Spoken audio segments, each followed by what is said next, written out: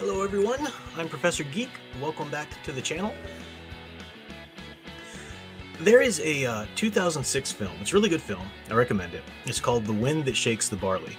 And it is, uh, I don't know who's directed it, but it stars Cillian Murphy, you know, from um, Scarecrow from the Christopher Nolan films.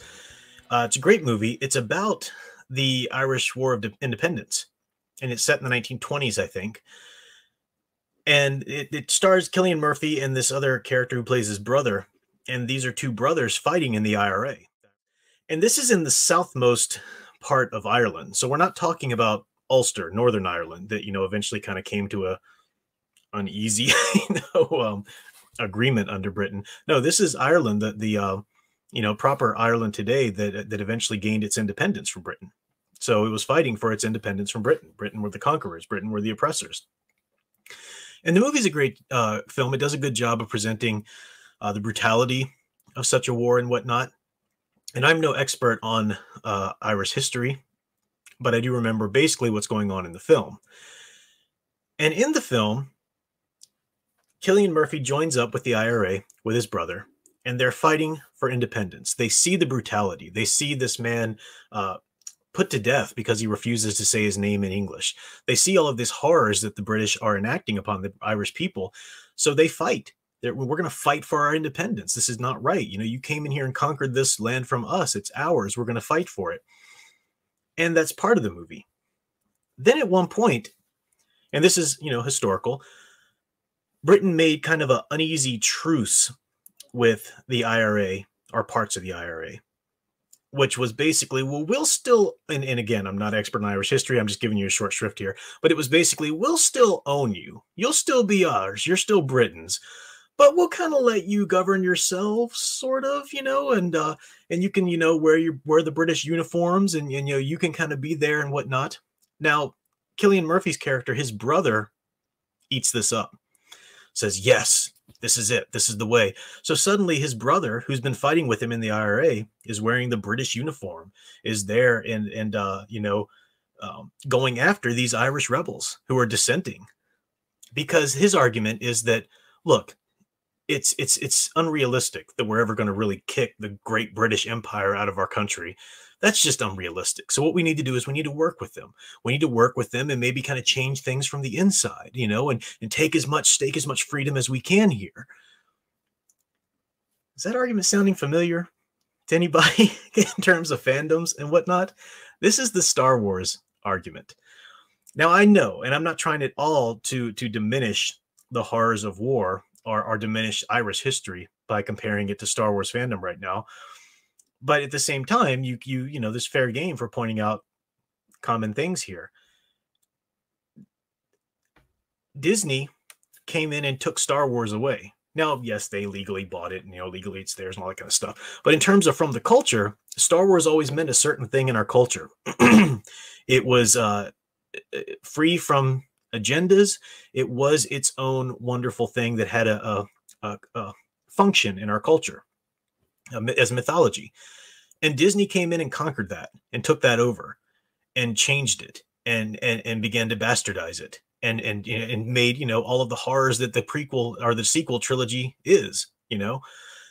Horrible horrible and fans everywhere rose up against it the fandom menace right no we're going to fight this we're going to boycott we're going to get the word out we're going to keep calling out the problems then disney stepped in and said well, what if, you know, what if we get Jon Favreau in here and give you a, you know, a man, hey, we'll get Dave Filoni to work on it. You guys remember him, right? You liked him in the Clone Wars. We'll get him to work on a Mandalorian series for you. And, and oh, you know, and, and maybe even he'll have some spin-offs and, and that's where we are now. And you have a large portion of the good old fandom menace who have completely stopped, ceased their hostilities at this point in terms of actually affecting any change.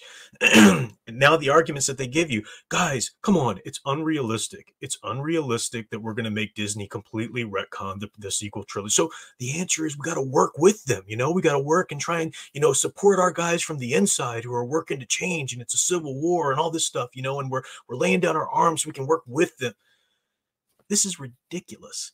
This is ridiculous, and I've pointed out this this out so many times the people who are trying to say that, hey, this is the way we work with them, you know, they are they are the, the the former IRAs happily wearing their little British uniforms now, saying we're going to affect some change. No, you're just a little pathetic gimp for the enemy. That's what you are.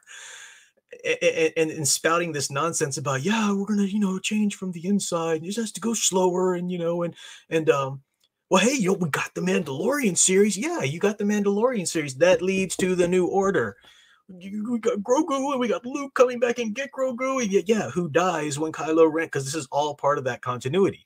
Stop fooling yourself. Straight out, completely naively fooling yourself if you think it's not.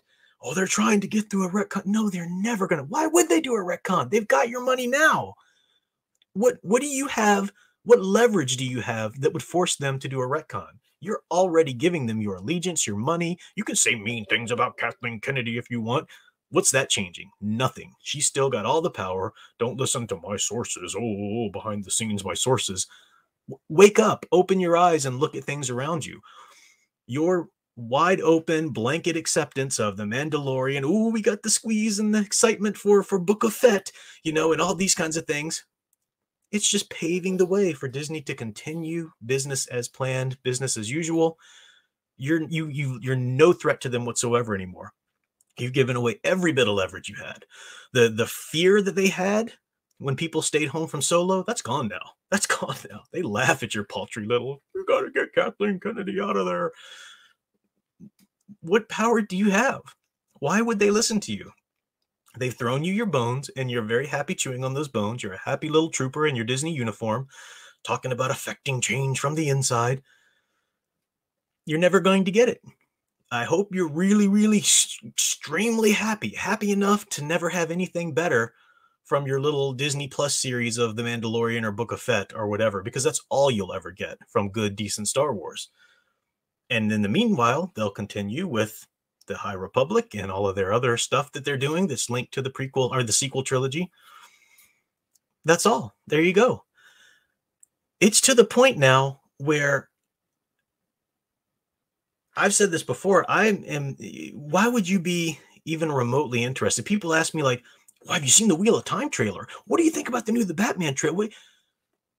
It's to the point now where I don't even need to see trailers anymore. I know if something is released now from these beloved franchises, I don't want any part of it. I don't want to see it. I don't want it's it's being created in the this current woke culture that Hollywood is in today which is is is not going anywhere. It's fueled by ideology, not by profits. This well, it's a business, and if we just speak, treat it like a business, and no, the supply and demand means nothing to these people.